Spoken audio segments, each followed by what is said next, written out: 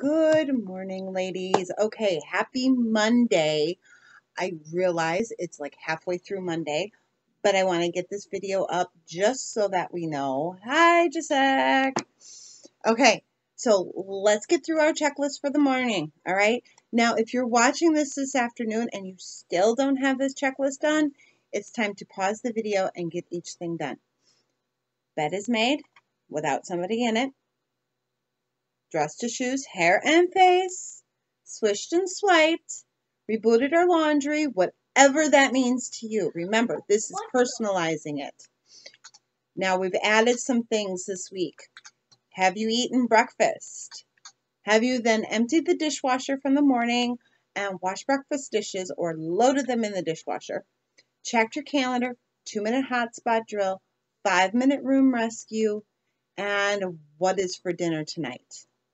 Okay? Morning routine. Check. Okay, now weekly home blessing. Don't forget 8, 16, 24 minutes, whatever it is. Eight minutes to a thing. You can do this. Okay. Um, your 15 minute missions today. We are going to go through paperwork and for the Fly Lady missions.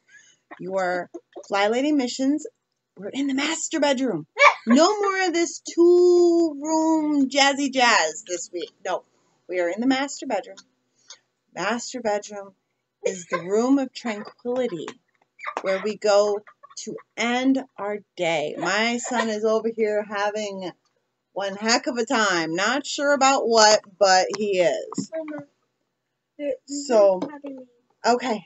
So, today in the master bedroom, we are going to get rid of what does not belong.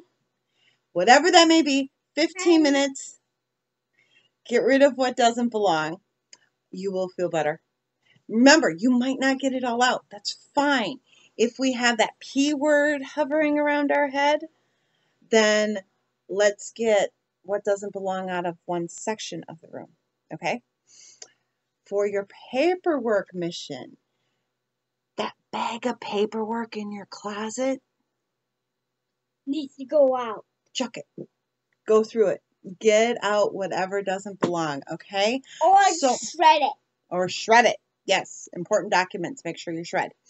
Um, okay, there is Monday's missions. I will check in with you tonight and we will see how things went. All right, bye.